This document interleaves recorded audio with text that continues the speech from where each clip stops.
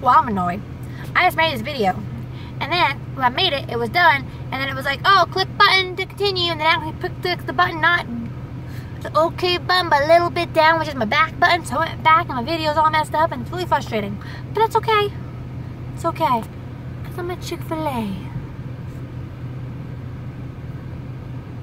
Camera pointing is hard. Chick-fil-A! Yay! Wanna see what I got? This Chick-fil-A stuff the company that actually finds a way to make it somewhat legal for them to discriminate based on religion. Yeah, you don't have to be religious or you don't have to be Christian to own a Chick-fil-A.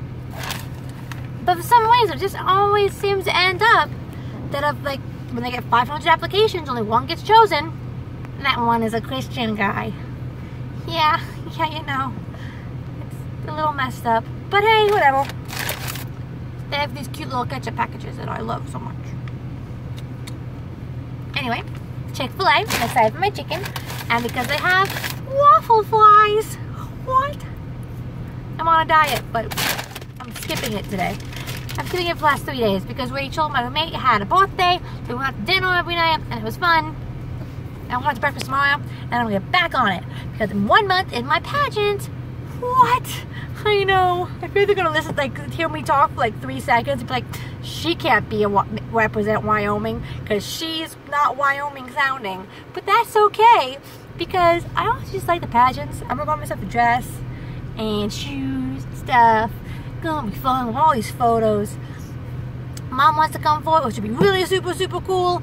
But at the same time, like, do I expect to win? Eh, it's just fun. Same thing with my chef. My chef, my, my whole kitchen's like my other sous chef, the PM chef, is like, oh, all everyone together will all come support you. And I'm like, that's probably not the best plan because I mean, it's not like I'm like the winner. Like I don't know. Like I'm not I'm not trying to win, obviously, because I never try to lose. no. But it's kinda weird. So one, one last thing before I leave, because I just realized I only have three minutes left on my phone. Oopsie, maybe. I would have had more, but I don't know how it went away. I don't know what's happening. Anyway, I got this book. It's so cool. It like, and this book all about like animals and like butchering them and stuff. Rachel, you'll love it. It teaches me how to skin whole animals.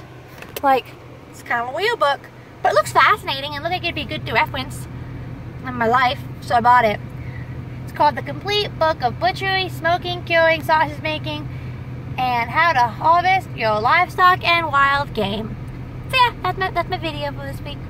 Bye!